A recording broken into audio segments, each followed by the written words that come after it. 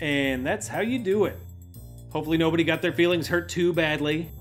I, for one, had a great time reading your reviews. Those Triple Bock reviews have been a running joke on Beer Advocate for years now, and they are so good.